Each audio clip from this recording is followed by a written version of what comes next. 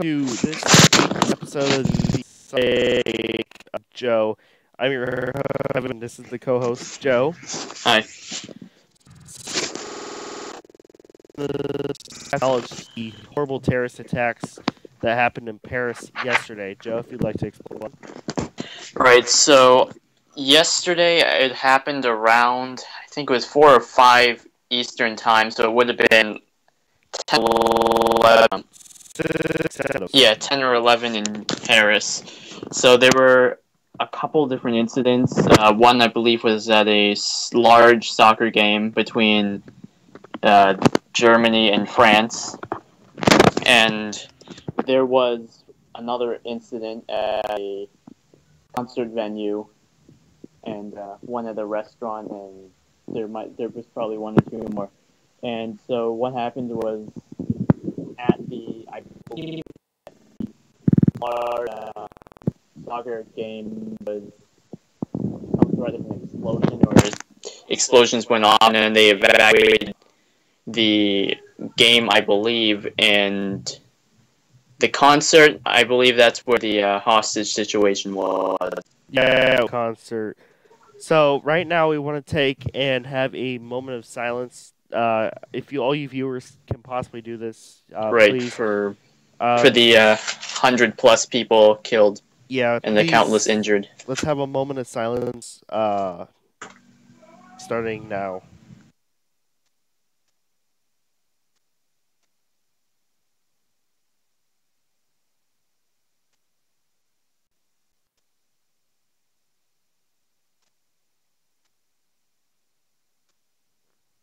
Again, it was a very unfortunate situation that occurred in Paris less than or less than 48 hours ago when at the time that we're recording this it was you know ice did claim responsibility for it and you know that's just plain and simple brutality and it's just not right Right.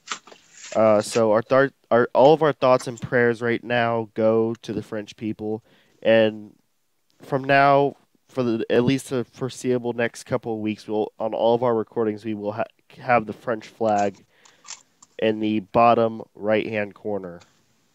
Yep. So, anyways, um, now onto a more positive note. Um, new images of the 390.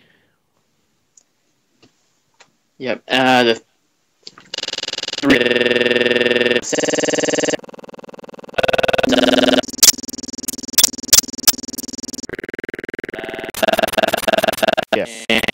Surprisingly, there are opening compartments. They're finally stepping up their game. Right, Now, and I don't know. it was if a Norscot designed piece to begin with. I I wonder if Diecast Masters made some modifications. Yeah. And there's also news that the 390 will be delayed until January 2016 because the CAT team uh, just dropped a last minute request to Diecast Masters adding that they put a couple more extra details onto it. Which is nothing major, to be honest. And I mean, let's face it, January 2016 isn't that far off, anyways. Right, it's just a couple months. Exactly, and the fact that um, the fact that it's coming out January 2016 is really fast, actually, and I that makes me wonder when the backhoes are going to be released. Yeah.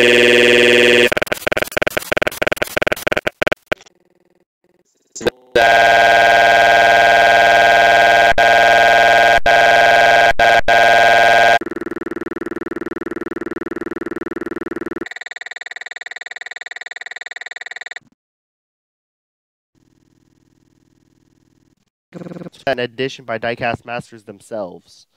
That I don't think anyone knows unless they actually worked at Diecast Masters or Norscot. Yeah, so you know we will probably never know, but you but there's a quite a bit of more exciting news out there, including the fact that WSI has teamed up with Sword, and they're going to be re-releasing some of the old Sword products, including the Low, three, four boys. And they'll also have just 379 tracks off the I guess this though, over the last number of weeks and months, we've seen a large uh, market for sword low boys, haven't we?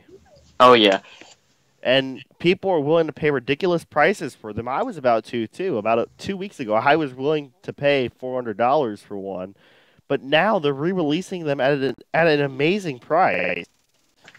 Yep. What would that price be, anyways? believe it more real quick. Either way, it's gonna be a lot cheaper, and I think, and the 379 tractor itself is going for like 100 something, right? Yeah, I think it was a hundred, a hundred and twenty. Yeah, it's 120 for a tractor and 229 for truck and trailer combos. Which is not bad at all. For the uh, that's for the limited production color ones, and standard variations are 219. Yeah, but that's not really bad at all either. Yeah. Oh, by the way, guys, I forgot to throw in at the beginning of the video. Over the last couple of episodes of the Kevin Show, you've noticed some audio issues. That is not our fault. That's actually falls on the shoulders of YouTube and some processing errors. And it's not just happened to us. We thought it was just our recording system messing up. Actually, in reality, it's YouTube having processing issues. So that's Yeah. not on our shoulders. It's on I see a lot of uh, reviews that I upload in the corner. Uh, YouTube keeps on telling me that there's going to be audio processing issues, but I haven't noticed anything. I guess the gremlins are just showing up now. So really, guys, if you'll just bear through the issues and the breakups, you know, it'd be greatly appreciated. Honestly, we are we uh, have no control over it, so you know, just bear with us. And if it makes a weird noise and whatever, we do apologize. It is not our fault necessarily, but it is our content, so we do feel obligated to say that, and we do apologize for any issues beforehand. Also, at first I really thought it was mine because we're having some teething. We've had some teething issues with the new laptops and the new uh, soft or the new hardware, and also this new software update for the recording device. We've had a couple teething issues. I mean, my headset is pretty much well. Actually, there's nothing wrong with the headset, I guess now if the issues are not coming from the headset itself. So, um, but yeah, we have had our fair share of teething issues, haven't we? Yep. every new car has a couple issues or, or whatever, and that's Yeah. kind of that's Yeah. kind of what it is like with this. so. Yeah, we're just kind of fine tuning the uh, bugs out of things. Yes, and it we've perfected the old computer and technology. It took us about a year to get it perfected, didn't it?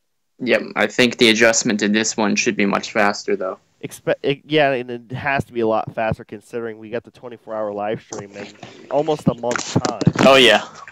Actually, I'm going to check the exact timing right now since I have the All right. countdown on my phone. And it seems this website kept trying to delete itself off my phone, but we are just four weeks, six days, and 14 hours away. Oh, nice. To the second, by the way, might I say. Yep.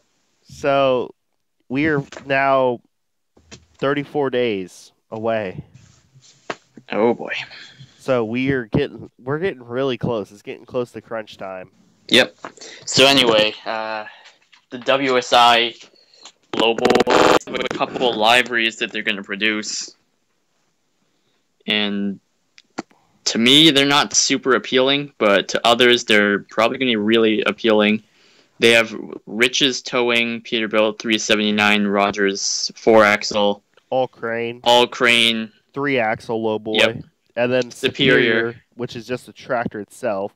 and then there's a bunch of premium stuff, which those are I believe those are just the standard colors. So there's a three axle in red.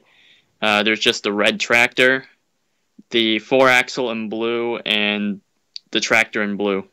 Now here's the thing. I think the one I'm gonna get, actually, I know the one I'm gonna get is the one in blue. Yeah, and it appears they're re-releasing the uh, Brenner tanker trailer and the uh, East dump I would love to in a get. box trailer. I would not mind getting the tanker trailer either because they're what they use to uh, transport linemen, right? Uh, maybe. Well, I think those would be. I think that would be a dry bulk tanker though. Uh, probably, but uh, for the dial coming up, I'm gonna need something to transport the lime into the site. So, you know, Yeah. and God, I gotta mention this: the Silver 365. All right. You want you want to give the details? Well, you're the one that knows the details on that one. I was trying to do like what you do with Skype. You know, Silver. silver. All right, so as you guys know or should know, if you watched any of our videos over the last week, you should know that we have Sal or 328 DLCR repainting a 365 in reflective silver for us. And as far as I know, it's in the stripping process right now. It's, so it's already been taken apart and it's in the stripping process, I do believe. Um, so pretty much what is gonna happen is when I get it back, I'm gonna take a bunch of pictures of it. I'm going to idolize it because it's a silver 365 that um, is built for Model News, which is sweet, by the way. Yeah. And uh, let's see here, what else? Uh, and we're gonna be giving it away during the 24-hour live stream Oh yeah. which explains the background. The white logos are the for the run up to the 24 itself. Thanks, Joe. No problem. So remember to use hashtag Road to 24 on Instagram, and actually, right before the 24, if you use it, um, it will show up, and I will be blindfolded. And I will select an image at random to, and we'll give away a shirt. So literally, I will just, you know, have my phone handed to me, and I'll select a random image, and the person who posted that image will actually get the T-shirt. Yeah, but uh, actually, I think we should actually say Model News Road to 24 because Road to 24, there's a bunch of random crap on there. Okay, model news road to 24. Fuck. Yeah, so anyone that has Road to 24, hashtag Road to 24 right now, please edit it so it says hashtag Model News Road to 24. And also use hashtag Ronda Rousey. I'm not going to question that. It's a bad idea too. No, I'm kidding. Um, I don't watch UFC, so. Oh. But anyways, um, also be sure to go to modelnews101.com. Don't use spray paint. My name is Ned, and I served in Nam. I am from South Park. I wonder if that actually does sound like Ned from South Park. Oh, I thought you were talking about the uh, commercial where the person has a hole in their neck. Don't use spray paint. All right. I used to be smaller, but now I have a hole in my throat. Does that actually sound pretty spot on? Yeah. All right. Holy right. fuck! Yes! Oh, did I mention there's language in this, by the way, guys? Sorry. If I did not mention that before, there is language and shit and shite and shit and shite and. Sh- Did you even put the slide in the beginning of the video? no, I did not. Oops. Okay.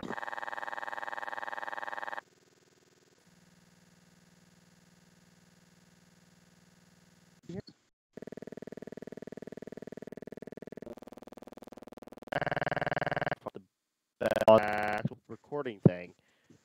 Okay. Again, guys, we're having some teething issues, but anyways, um, hopefully you guys, Yeah. you guys just fine. So, my only uh, disappointment with the WSI uh, sword and TWS truck uh, lineup is well, I think WSI only really has the agreement with Paccar at the moment, so that means no granite. Yes, that is definitely gonna be, well, interesting. So, um, Yeah, because the only people that have the granite, well, let's just say they bought all the ones on the market and they're trying to price gouge them. yeah.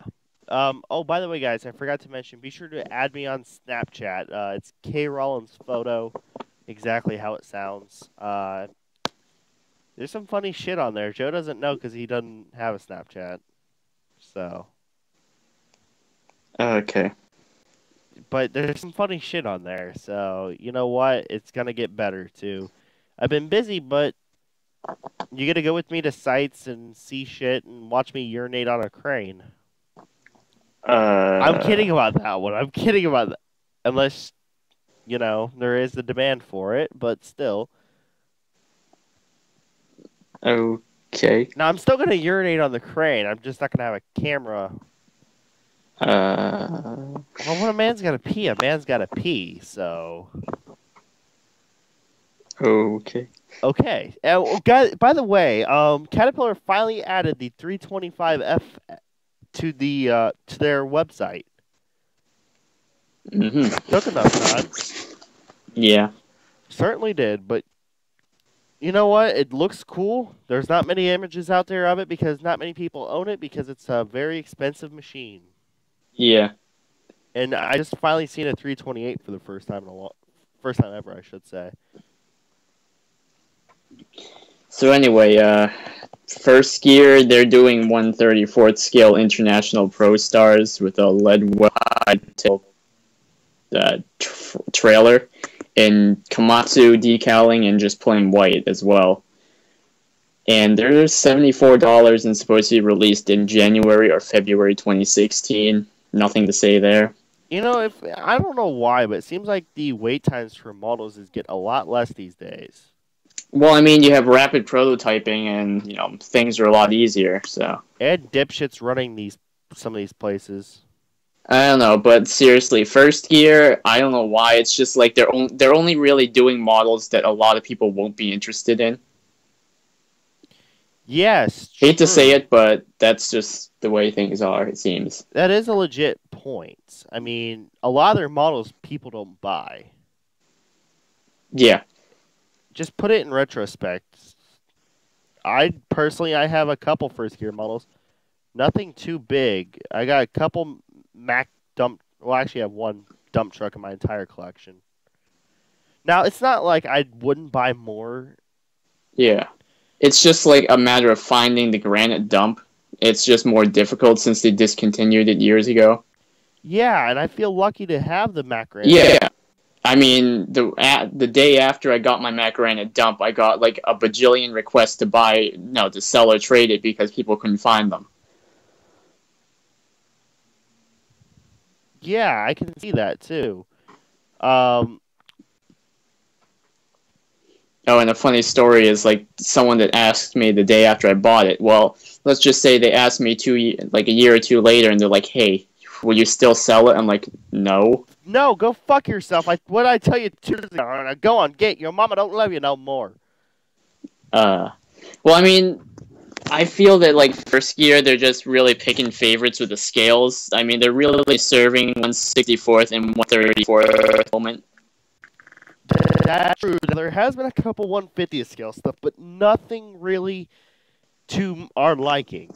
Yeah, I mean, and the the biggest movement for first gear to produce a model in a long time was a 150th scale Mack R600. There was like there were so many people that wanted it, and then it just turned out the first gear just said no, and then just decided to churn out like a bajillion liveries of the 164th scale version. Honestly, the the Mack Granite was probably one of the best things they ever built. Yeah, I mean, you look at was it the 367? Uh, the hinges on the doors uh, just fly open, and there's no steering front end. It's just like all plastic axle. And now, hold on, I gotta say this though. Every model has its problems, even sword models, especially the Peterbilt, because if you turn the wheels too far one way or another, the hood's gonna pop open, Yeah, and that's a consistent problem with them. It's always has been. Yeah. But there's not we can do about it though. I'm thinking about actually getting the one of the T800s because I need another dump truck for or what you mean the T880? What, whatever. Fuck it. Yeah. Guys, it's 1 a.m. So Hey, anyway, I mean the T880. I look at that, and then I look at the picture of the granite, and I'm like, what? The doors don't open? Really? Yes, exactly. I mean, I think maybe they're just trying to like rush models to market these days. A lot of people are though. Like you because here's the here's how marketing really works. If you announce something, you try to get it out as quick as you can to because that hype is still up there for it. Yeah, and a lot of companies are probably rushing things out for the last quarter of 2015 and early first quarter 2016 because it was still the holiday season and people buy things. Oh, I'm waiting for the Three Thousand Toys Black Friday sale. Yeah, I mean, diecastmodels.co is really is starting already. So I mean, I think they're a good baseline. If try and uh, compete with them. Honestly, I don't buy from Diecast Models. Yeah. For obvious for certain reasons. I mean, the only reason I've ever bought from there is one, the first time it was a good deal, and two, the second time is it's a mo- it was a model that no one else stocked. which I think is pretty good reasoning for buying Yeah. from them. But I mean, let's put it this way though. Three thousand toys, they do have some good deals, and not to mention the shipping is a hell of a lot faster. Yeah, I, the funny thing is that all the times I've bought online and used UPS, the only time I ever got a UPS delay was when it shipped from diecastmodels.co. The only, t- you know, I've never had a delay from UPS. Well, I, I very recently did have a uh, model pract- uh, in pieces from UPS, even though, well, I don't think it's UPS's fault. It's the sender's fault. Which is your crusher? Yeah, uh, five hundred twenty dollar crusher. Which you were psyched the fuck out of. Yeah, I mean, I would be too, to be honest. For a five hundred dollar crusher, yeah, and got it for one sixty one with the uh, buyer's premium. yeah. Oh, by the way, guys, this probably is relevant to absolutely fucking nothing, but my phone battery's at twenty percent. Oh, congratulations! I thought I'd say that since it's so important, I have to get a notification about it. Oh, turn on low power mode or something. Your phone has that? Yeah, I updated to nine point whatever. Fucking phone. No, my phone's not ancient yet. It's close, but not yet. The update still works on it, so As long as that works, you know, you it, got. it actually worked. Okay, so yeah, I mean, really, there's. What's the worst thing that could possibly happen? To be honest, uh, explosion. uh, I do have. phone? An, I do have an iPhone three. Ugh. I don't. Well- I don't use it for God's sakes, but Yeah. By the way, guys, if you don't know the theme of K Cup of Joe and you're not a regular listener, sometimes we don't talk about models the entire time. Sometimes we go off on other topics, but it's fun. Yeah. But uh, we'll probably revert back to Crusher Disaster later on. Oh, we should talk about it now. That thing Or should we in- go on with the news and then go back to it? That thing came in parts. Parts. Uh, yeah. Um, hey, you want to put a picture up? I can send it to you. Uh, oh.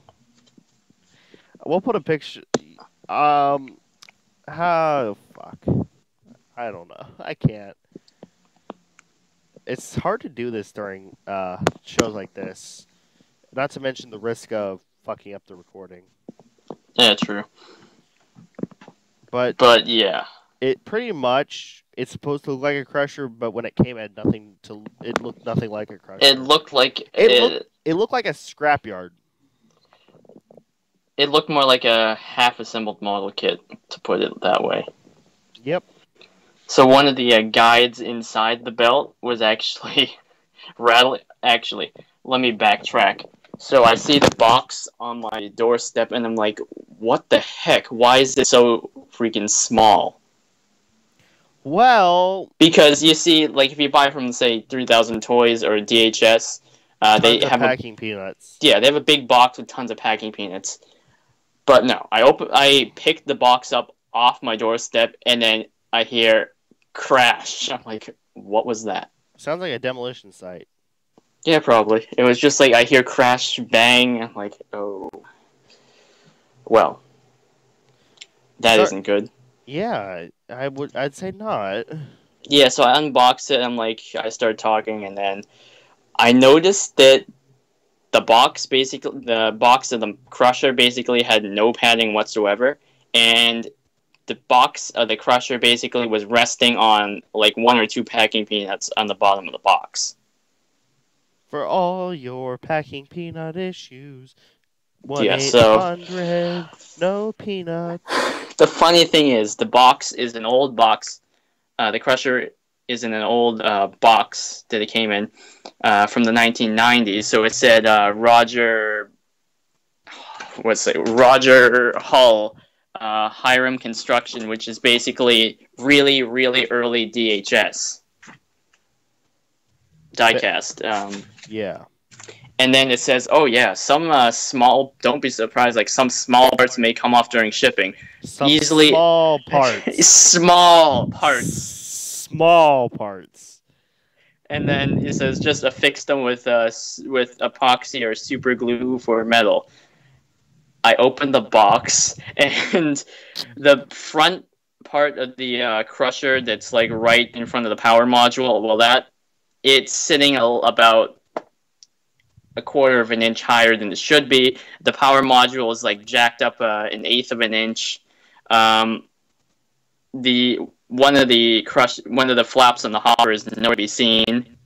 Yeah. So I it out and parts fall off, and I see every single one of the handrails is bent. And I did it on video, and let's just say it was disastrous. I'm like, where did all the other parts go? Oh wait, I take a layer of cardboard out of the box uh, that the model was in, and they're all there, all over the place, crashing and banging the frame that the cross conveyor hangs on that was a really mangled mess Yeah, I mean, this model was really. Do you have the unboxing up yet? No i didn't upload it yet but i probably will Yeah, like seriously. It's going to be very interesting to see. And I feel bad for the guy because, you know. Well, actually, I don't feel bad for the guy. no Not at all. and you know i called him up after the unboxing and i'm like look i pay $161 after the premium for the model and well paid for various other items and you charge me $40 for shipping which on their policy is on the auction company's policy auction fee so there is no way that even though the box was almost nine pounds, there's no way a box that size would have cost forty to ship via UPS. So yeah, big. You know what? As in the words of somebody that you know does YouTube, oh Yeah. baby, you know it, guys. something screwed up. It's, it's fucked up as a football bat.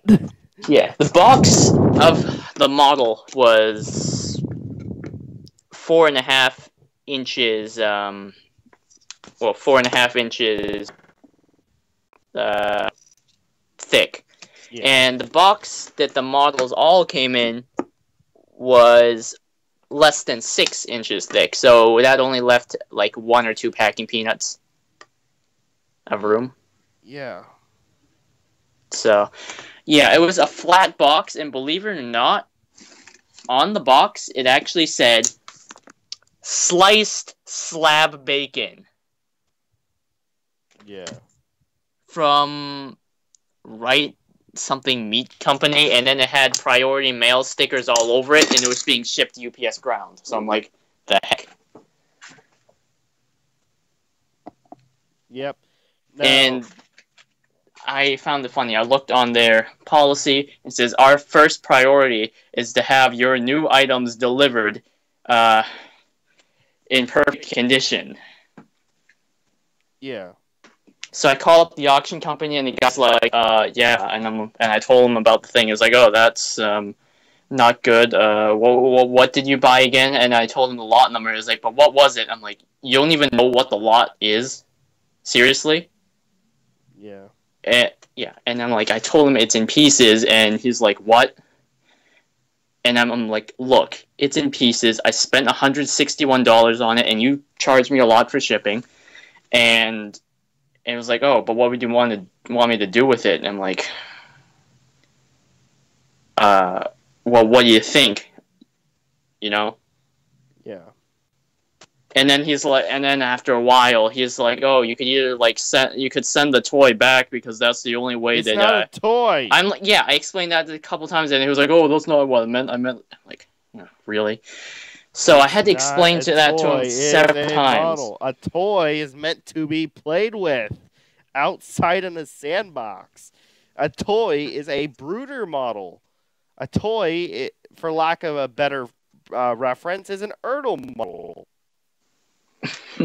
So I told him that several times. It's like, oh, but the only way like that I would that I would do anything with it is that uh, that we would get our toy back because uh, uh, I don't want to like he doesn't want to lose money or something. He said he would like, oh, you could either like keep it and you fix it yourself if you want and not get any money, or send it back to us and we get our toy back and we fix it ourselves and sell it. So I'm like, really? You mean you? They weren't going to give you your money back? but not all of it. They're obviously not going to refund the shipping or the buyer premium. So I would only get 140 out of 161 plus shipping. And I'd probably have to pay for the return shipping. And they would get to sell the model. So and then make more money. Yeah. I think that was sort of deliberate there, if you think about it. But you never know. I mean, let's put it this way. Shit happens. Maybe it is UPS's fault. Maybe it's the guy's fault. Maybe he's trying to scam people. You never know. But you you got the crusher fixed, and that's pretty much all that matters. yeah. I mean, the box literally said that it was fragile and everything, and then they'd say they'd have UPS pack it real good if they thought everything was fragile and high value, which both applied, but they didn't. They had their hack jobs pack it in a box that was barely big enough to fit all the models in with no room to move whatsoever. You know, there there's people that are just there to make money off of this, and there's people like Roy Yeah. Ferguson that actually kind of care. Roy yeah, I mean these uh, these guys, they're people that people trust to auction off uh, properties like land and like farms and estates. yeah, So if they can't handle shipping out models or or antiques or anything, I don't even know why they're in the business. Now here's the thing: DHS, for example, run by Chuck Sword. Everybody knows who Chuck Sword is, obviously because you know he owns Sword models. But and I find this like he actually cares about the modeling business, and he's not there just to make money, but he's also there to give everybody, um, you know, bring joy to the community by getting great models to people that he actually cares about. Yeah. And also 3000 Toys, for example, they also do care about wide variety, and they're not a big business. They have, they have like what three or four people running customer service. Yeah, I mean, not- most people in this business aren't super big. Exactly, 3000 Toys. They look massive, but they're really not if you put it in retrospect. Yeah. They're based out of Joplin, Missouri, which was the town that got hit by the tornado. I don't even know if they got affected by it or not. Yeah, they did get like one of their uh, rental spaces got uh, messed up, So but I mean everyone was fine and they recovered. So which is great, you know. Uh, and they didn't. Ja- they been very fair about their prices. yeah, I mean everything is way below MSRP. Oh yeah, and you know their shipping cost is seven ninety five, but UPS and that's a flat rate shipping. Yeah, and, and then So if if, you, you- spend more than a certain amount, it's all free. And here's the thing, though, uh, shipping two three sixty fives to Sal costs and the same box that three thousand toys sh- shipped it in cost me about seventeen dollars. I think it was. It was either seventeen or twenty seven. I forgot. There was, Okay. it was a big number, but for shipping it was. Yeah. But it still was really cool that they do that. You know, yes, shipping it could be expensive for say something that's like five dollars. Yeah, Sure, that could be expensive, but think about it this way though: most of the things that they sell are not five dollar items. They are very No. expensive, and they and believe it or not, they still got the Mack Granite uh, uh, asphalt distributor, yeah, which you can't really find that anymore. true. I think they only have it in black now, but they still do have some sort of items. Oh yeah, yeah. I'm actually, And the never selling CCM 245 front shovel. oh yeah, that that seems very. That, you know, I wanted to get the regular 245, but I given up on it. But I will put it like this though. Um, I would love to see somebody make a 150 scale betting box. That's not like a hundred dollars. They've made. There's been one made before. No, but there there was a trench box made and it was like around a hundred. Ah. Yeah. The closest thing we have is what those skip containers. Or you can have one custom built. I mean, Well, I mean, yeah, but I I don't know. It's just something I don't find myself doing. I would. well, I mean, I would you love. could get someone to build it. I mean, I know, but I mean, yeah, There's so many. Ex- you know, people think of the modeling community as just so much as model as just putting the models in and doing a diorama, but it's so much more. yeah. You gotta get all like the details. if you want to if you want it to be a credible thing, you gotta have the details with it. Yep. But you can also get the shuttle lift and the the, the camouflage or the uh, regular shuttle lift or the you can get the regular shuttle lift and you can also get the military green one. Yeah, But Sword also made a tank. yeah, but it was like one fifty fifth scale, or something. Yeah, it was 156th actually. Ah, but still, they they three thousand toys does still have quite a few um, good sword models out there. They still got the Brennan tank or Brenner tank or wherever it's called. oh yeah, Well, they got one of them. Yeah. Now here's something I don't get. The um, the sword telestack conveyors three hundred and forty nine dollars. really? I'm not spending three hundred and forty nine dollars. Oh yeah. Oh no. But still there Yeah. and also i gotta i gotta bring this up since you know because Yeah. when oh when are we going to see the pickup trucks Yeah. how long for the love of christ how long have we been waiting A long time. oh yeah definitely it's been since what like 2012 since before Yeah, I think they said it was like 2016 is when they claim they're coming out. Um when did they promise it they promised it before twh collapsed Yeah. So that was at least before uh, 2013, June 2013. Yeah. I mean, they kept showing the same prototype with the, for lack of a better word, term, cheese wheels. Cheese wheels. Yeah, because it's just round discs of plastic with no detail on them. They was, and it was just a prototype model though. It's not really necessarily meant to show the wheels. It was more meant to show the body of it, what and give us a good idea of the size and all that. Yep. So, Oh yeah. oh by the way, our our esteemed financial correspondent JJ, his Call of Duty Black Ops 3 character is a female. Or is that just some random character? JJ got boobs. Uh, huh. I had Well. to.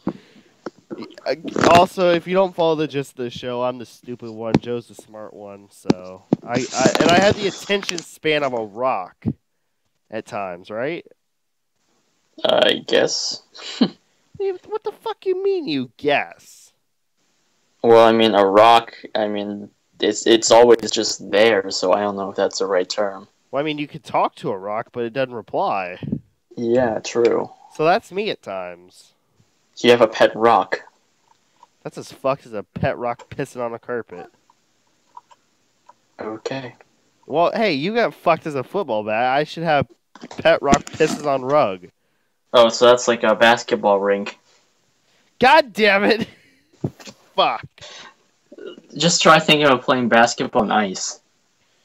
I think people have done that before. No, but like a hockey rink with basketball things. Oh lord, they're gonna ruin another sport. Hockey's actually pretty good. I, I don't I can't stand basketball for some reason. Basketball on ice. Mainly because my stepdad sits there and talks about it all day, Ah.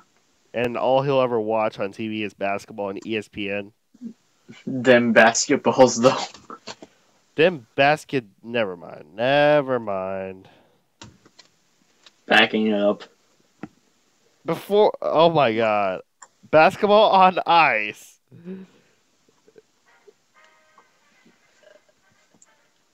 What? is an actual thing. Oh boy. It's, it looks very. They're wearing helmets. Well, anyway. Anyway. Ice hockey and basketball combined. This looks very horrific. It I bet it is. and they're passing it like a football. Bat. No, they're passing it like an actual football. Okay. It's the mix of three sports. Alright, so anyway, in the end, I got the crusher fixed. I'm like, no, I'm not sending it back. You can go fuck yourself. I'm never buying from you again. I didn't quite say that. I just said, okay, well, I'm not sending it back. I'm fixing it. And he was like, okay. But you're not gonna buy it from. You're not gonna buy from him again. I doubt they're going to have another auction. True. True. Yeah. Where do you get this stuff, anyways? It was like some auction thing online, live auction, and they actually had a live feed. An interesting fact on the pre pre auction inspection, they let you tune in for like the first 20 minutes before the auction and throughout the whole auction. But in the first 20 minutes, it was just a bunch of old guys walking around some airplane hangar looking thing in Nebraska with a bunch of tables, models, and one guy. Uh, let's just say he had a soda can, and once he tried to pop it open, it started hissing. He was like, "Oh shoot!" and it started like going everywhere. So pretty much. And then the guy at the computer was hacking up a storm. Wait, wait, wait. wait. Is there an actual auctioneer? Auctioneer? Yeah. You gotta send me a link to this shit.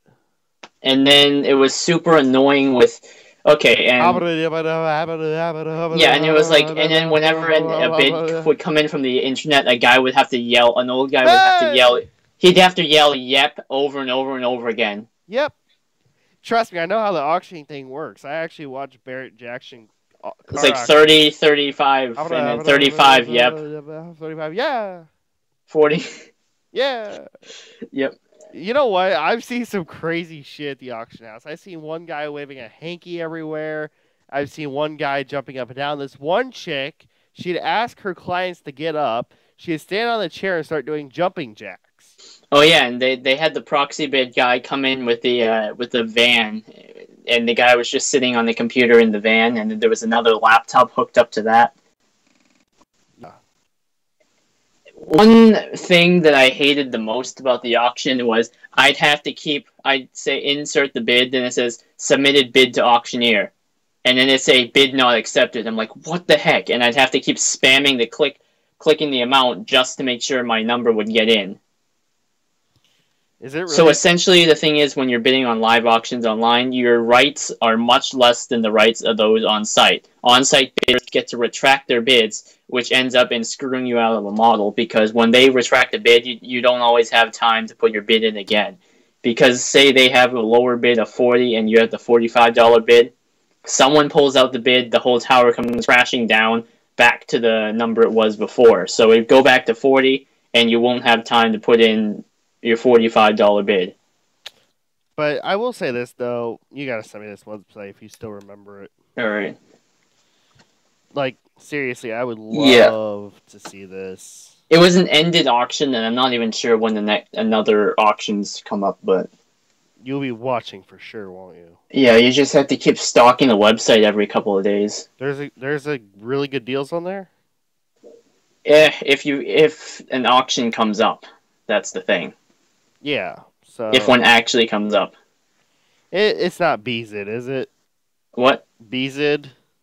No, it's like an actual auction company. But then here's the here's another downside. They get to charge you anywhere from ten percent and up. So DHS auction charged you eighteen percent. This guy charged fifteen percent, and someone could charge you more if they wanted to. Oh, And the bidding increments uh, change by amount. So say, I think if it's under seventy or something, it's by five bucks, and anywhere over that, it's like ten, and then it goes 15, 20, 25. yeah, it's exponential bidding amounts, which is annoying. And the shipping, despite the weight of the item, it's value based. So if you spent like a lot of money on a small item, you're still going to pay a lot for shipping. Yeah. So I mean, you just gotta watch the terms of the sale, and you gotta pay attention, or else you're gonna end up paying a lot more than you bargained for. Wow. Yeah, you you gotta really be careful in the auctions, because once the hammer drops, they get to charge your credit card. Which sucks. Yeah. Anyway, Man, Pizza doesn't have anything. no, it's not Beezid. No, I'm talking about. I like checking it. By the way, Joe, you have a text. What? Joe, your phone is ringing. Oh, I entered the password wrong. Oh. Use a, your fingerprint scanner. I don't have a fingerprint scanner. Dang it. Then what type of phone do you have? Remember, I just have a five. What the hell? Yeah. That's like 2012. Yeah. And it still runs like it's brand new, so. That's because it practically is. Okay. Well, I mean, you've only had it for a short period of time, though. No, I, I've had it. Well, I mean, I've had it for a, almost a year, but still. Does it have some dents and scratches? No. Really? Oh yeah, you keep yours in a case. Yeah. And Alright, so anyway, Diecast Masters, back to the news. They're having a D11T in a special copper plated finish that's rubbed to create depth and, you know, a bit of a, you know, like a uh, effect to it. Yeah. Like a vintage effect. Uh, they copper plated it and rubbed it and probably gave it like a wash of some sort. Yeah. It looks really nice. Even the plastic parts are plated in copper. And it looks like a fucking penny. Yeah, at least this thing is not worth a penny, though. It's worth a ton more. So say about uh, ten thousand pennies. Uh, there, I don't think there's a price released yet, but it's it's presented in a special mirrored, what package with a mirrored base. It's like a display box, and they are suggesting people use it as a uh, gift for like retirement presents or something, Here you go, Bob. or like uh, anniversary, you know, for working at the company. Hey Joe. He he. What? Um. So, buddy, you've been with us for quite some time. Uh, what? You've been with Model News for quite some time. Okay. And if he was right next to me, I'd put my arm around your shoulder. So, um, here we have a little present for you. Here's your D11. You're fired. So that would be an interesting uh, That would usage. definitely be an interesting usage. Yeah, so anyway, yeah, there's a nice D11T variation coming out. It doesn't look cheap, but it's nice. Yes. And also, Diecast Masters, they're releasing a 1 125th scale CAT 793F. Why? 1 125th scale. Why the heck are you choosing that scale? I'm sorry, but I have to just criticize this. It looks great, but seriously, 1 125th scale. And they claim they picked that scale because they wanted to achieve a model size that fits within quote unquote general HO or 187 scale scheme. And they claim at 187 scale the 793F would have been larger than many of the 150th scale models that they would produce. But really, if you're gonna produce something Are that's they producing skid steers? Holy fuck! what Really? I mean, are they? Are they? It'd be much larger than some of their 150th scale counterparts. Well anyway, Uh, what the fuck is this about? what anyway, one 125th scale is nowhere close to 187 scale. I mean, you take a 140th scale model and put it next to a 150th scale model, and say it's a 20 ton excavator and 140th scale. It comes, it's around the size of a 150th scale, uh, 40 ton. So, yeah, So it'd be about Yeah. it'd be about a 450 size. yeah. So put that the other way, and think of a 1 100th scale model next to a 187th, and then you know, then put the 1 125th scale, and they get exponentially smaller. I don't get some people's rationale behind some of the things they do. Yeah, I mean, really, it's a 793F. It's supposed to be big, impressive, and imposing. So why are you trying to purposely shrink it down to fit into a box? You're not Matchbox or Hot Wheels here. Do your job and produce accurate scale models that are actually to scale. Which they advertise the best models on the market. I get, and that makes me think of uh, my f- slightly furious uh, issue with the quote unquote 187 scale New Holland E E485B by Hobby and Work. The thing was the size of a 187 scale uh, 20 ton machine, and I found out the body panels actually snap off when you disassemble the model, and they switch them out to uh, produce the 20 ton machine. So I'm like, really? Wait, wait, wait. What scale is it? They claim it's 187 scale, but I think it's in the hundreds. And they just swap out the body panels. Uh, the counterweight is the same. They just swap out the body panels to make it a 20 ton machine and put a new cab on it. It's bigger. I don't get a lot of people's rationale, like I said, behind some of the shit they do because they are just some people are just fucking idiots. Yeah. I mean, but really, at least Diecast Masters is actually stating what scale it is instead of just claiming a scale. Yeah, and But I'm still not happy about one 125th scale. I mean, it's just gonna look so small and awkward compared to other now didn't, 187 scale equipment. didn't Toy State do the exact same thing? Yeah, they did. What was it? One 101 scale or something Yeah, they did. with a 797F. So I mean, really, they're probably going to be like very similar. I'm actually the Toy State's going to be bigger, and it costs fifteen dollars, which is eh okay, but you're talking about what a 30 40 50 dollar model really? I'm thinking this thing is probably going to be around 50 or 60 maybe Oh boy, you can pick you can pick them Toy State things up in your local Walmart. Yeah, I mean, anyway, I, I'm just not happy about, and no one's happy about the scale that they chose. I mean, I looked around in 187 scale groups, and not one person was happy. And they said they're going to have to produce 187 scale eventually. Like Tonkin did. Ah, well, Tonkin, I'm going to get into this a little bit. Tonkin, well, they just did a couple, a slew of couple loaders, which were basically the same thing retooled Yep. for minor detail and new decals. And after that, they basically hung 187 scale out to dry and never produced anything that they promised. Keyword promised. Yeah. They promised like 390s and like forestry equipment and everything that would have been produced in 1 150th scale.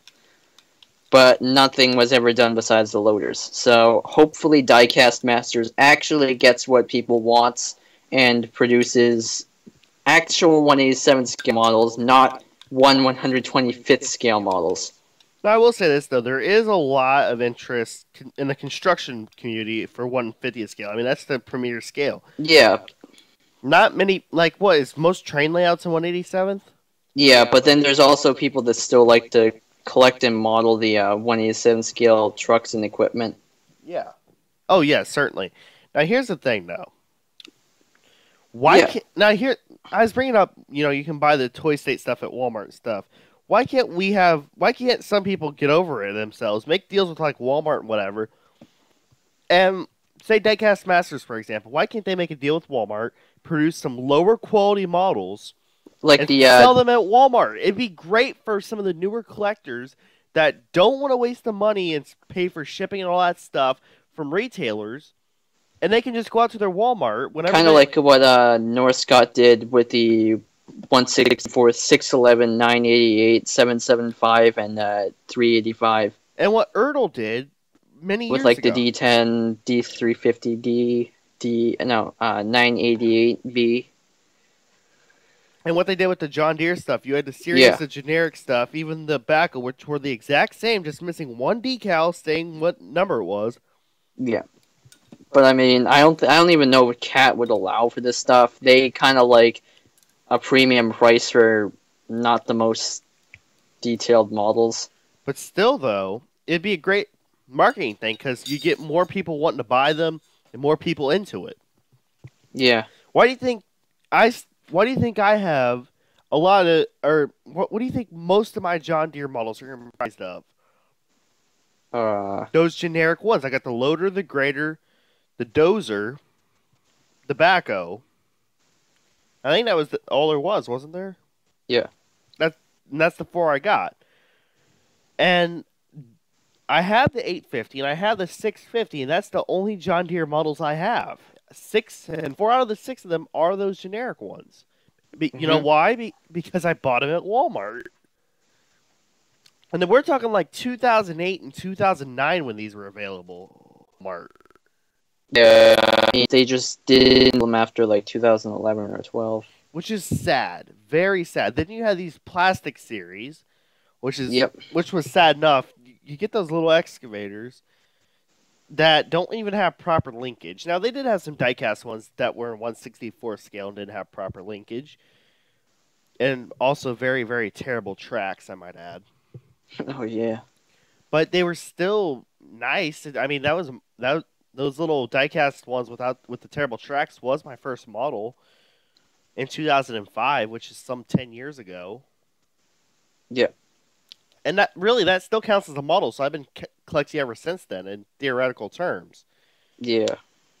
All right. So actually, Diecast Masters, they're saying that their first production markets will enter the market in 2016, and they're not going to sell directly to consumers, but they're going to be selling through a network of distributors.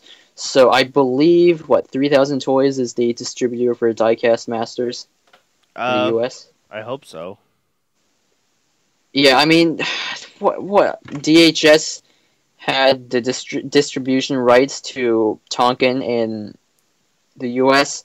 and let's just say things went a little less than desired.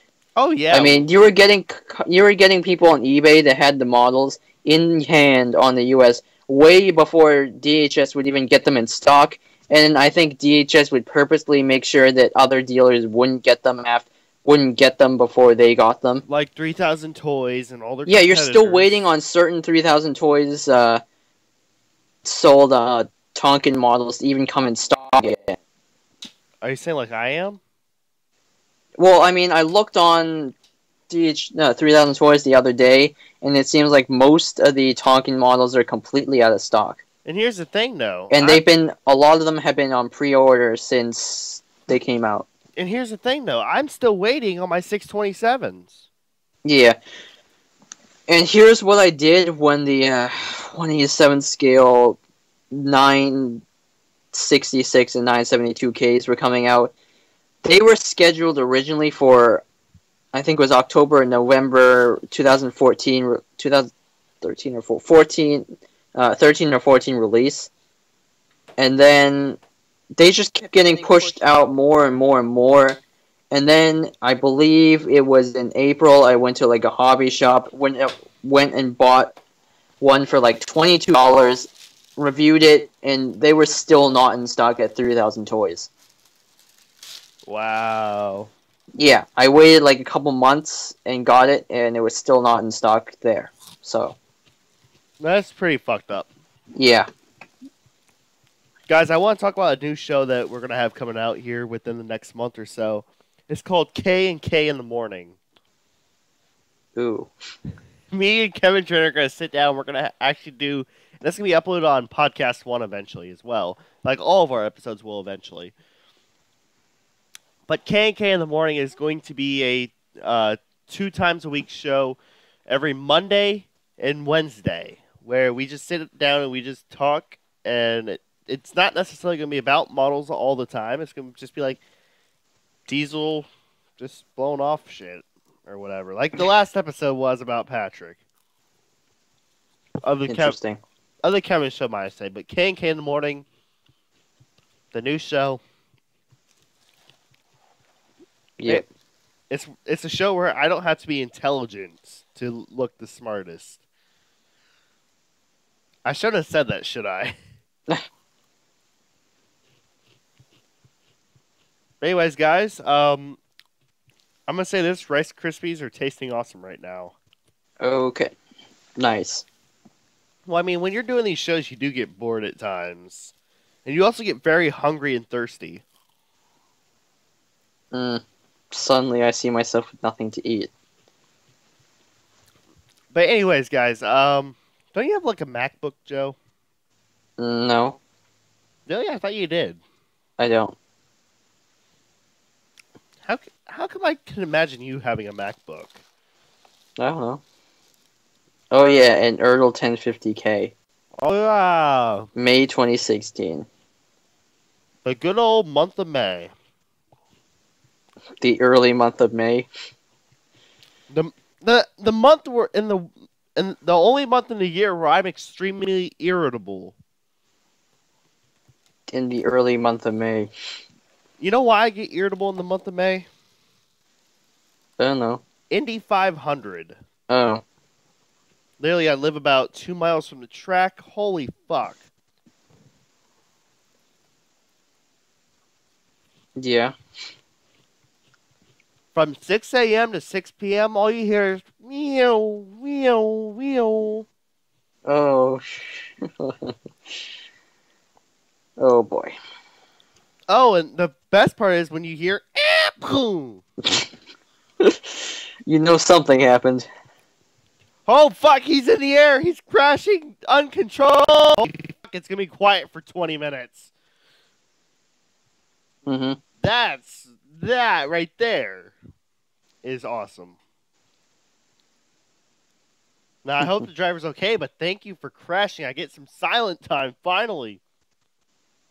And you also hope for rain. Rain. Remember the old saying, uh, April showers bring May flowers? Yeah. Reverse that. Fuck it. Let it ra- rain in May. Now, the Indy 500 day is the worst. Traffic for fucking miles. Holy fuck, man. Mm-hmm. And then all you hear is woo, woo, heel, heel, woo, heel, heel, woo. Oh boy. Ew. Holy fuck, would you shut up already? How long does it take for you to go 200 miles? Or 200 laps? Mm-hmm. Apparently a long time. And then afterwards, all you hear is, woo, he won, oh my god, woo, woo. And then you hear blimps. And, Okay. helico- and then helicopters. Oh, wait. It gets really fucking annoying really fast. That's the month of May, everybody. Nobody gives a fuck about NASCAR around here, so we don't have that problem. Well, I guess Brandon's story does. I mean, Crane Dude. Oh. NASCAR. Oh, and Tommy. Oops. Now, hold on. He told me not to say his last name. So don't say it then. Solution. Here comes Santa Claus. Here comes Santa Claus. Right down Santa Claus. Yeah, so I like walk into this place today and then I'm like, what? Christmas tree? What? Wreaths? What? Christmas lights?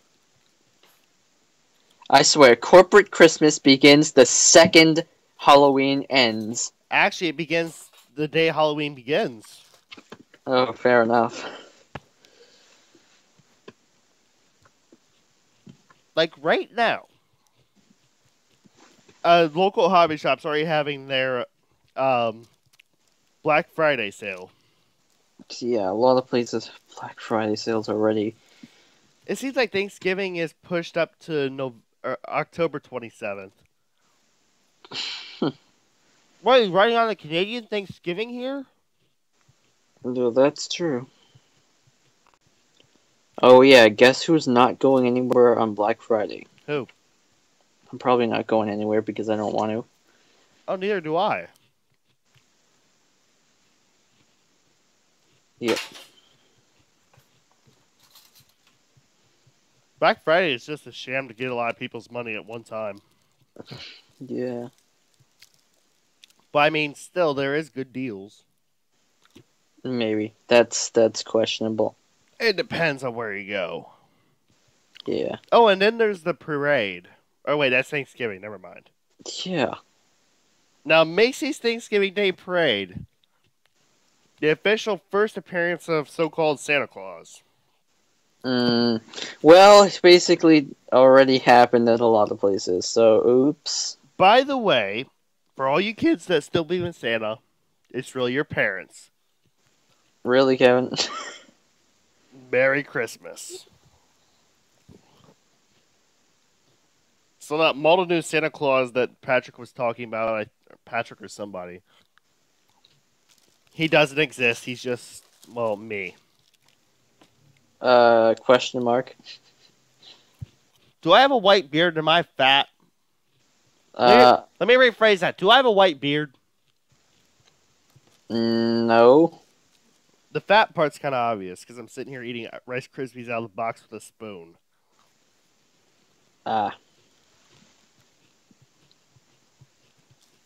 So you know how it is. yeah. You see, guys, this is what I'm reduced to. Mm, It's gonna be a whole lot worse during the 24 because every hour I'm gonna have a different meal. yeah, and then you. Sh- another thing is like you just see someone that has like a rare model, and then they were like talking to you about it, and then they start. You know, they just like, oh yeah, probably not sell it, and then they're just like waving it around. You motherfucker! I see. I sold them as uh, two or two seventy twos. Yeah. Yeah. Huh? Yeah, and then well, he he just is possibly selling the 870 and the 450.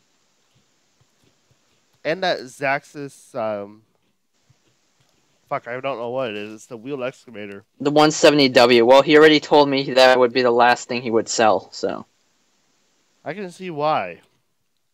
yeah, because a bunch of people told him it was much rarer. But I mean, I'm probably the only one telling him the truth. Yeah. And Joe does not lie, ladies and gentlemen. Joe never lies. Well, I wouldn't say never, but not often. I try. At least I try. He doesn't lie, people. Now I do, but he doesn't. And there's a lot of people like uh, kind of irritating him with a bunch of lowball offers. Now here's the thing, though. I'm like Pinocchio. Every time I tell a lie, my nose doesn't get bigger, my belly does. so I don't know. And Joe gets smarter every time. Ah. Actually, every day he gets smarter. It seems. Eh. I talked to somebody, a former Model News member, the other day. Mm-hmm. Mr. M and Earth Movers, former Model News member since 2013. Good guy, he is. So yeah, just thought I'd mention that. Okay. But anyways, uh, yeah, guys. So we better, we about ready to wrap this up. Yeah, just about. Just about. Well, anyway, uh, we've uh, done some work to the website. We're adding things just about every day, or as soon as we get news in. Yep, and Instagram, of course. Yep. By the way, um, I want to say welcome to the newest news page on Instagram over there. Was it like miniature diecast announcements or whatever? Something of that nature. Yeah, welcome to the market. Uh, Jungle. welcome to the jungle. And hee hee hee. Yeah. Whatever. Um, again, guys. So, let's go ahead and wrap- so pretty much we hope you enjoy this episode of Cake. Um, I'm trying to get a guest on here for next week. And I'll- there was a- YouTube YouTube. Yep. And um, so pretty much, guys, uh, I'm Kevin. Yeah, and I'm Joe. He doesn't normally say his name. I'm in. That's Joe. Please spare a thought for France. It doesn't have to be right now, but whenever you get the opportunity, say a prayer for the people over there in Paris, and you know keep them in our thoughts and prayers as we go on through the week. And thanks a lot, guys, and fuck ISIS. All right. That's it. Yeah. Ah, man, that was a great episode, man. Yeah. Really was. You know what I'm gonna do next? What? Probably just sit here and do absolutely nothing. There's a 966 of that. Oh fuck, I'm still recording. See you guys. Peace Yeah. out. Peace out. Or whatever. Peace out.